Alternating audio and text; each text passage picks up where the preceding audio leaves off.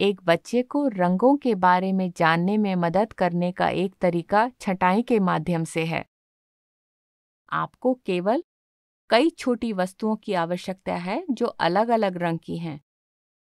आप बच्चे से कह सकते हैं, उन्हें रंग के आधार पर छांट दो। एक समूह में हरे, एक समूह में लाल और एक समूह में नीले रखो।